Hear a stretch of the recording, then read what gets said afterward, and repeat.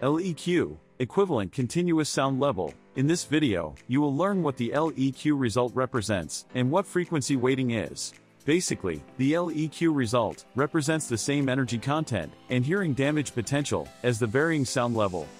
By IEC standard, LEQ is expressed mathematically as 10 times the logarithm to the base 10 of the ratio of the time average of the square of a frequency-weighted sound pressure signal during a stated time interval to the square of the reference value. And how about A-weighted LEQ? The A-weighted LEQ, commonly represented as LAEQ means that the LEQ is measured with the applied A weighting. This weighting emphasizes or attenuates certain frequencies in a broadband sound signal to reflect the human ear's frequency response. IEC standard gives the design goals for frequency weightings A, C, and Z, along with the correct sounding acceptance limits for Class 1 and Class 2 sound level meters. What are statistical levels L90, L50, L10?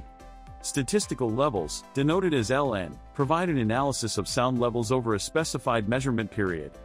They offer insights into various noise parameters, highlighting the quietest, loudest, and median intervals of noise. This information is crucial for determining the intrusiveness of specific noise sources within an environment. For more content, subscribe to our channel and visit Svantek Academy.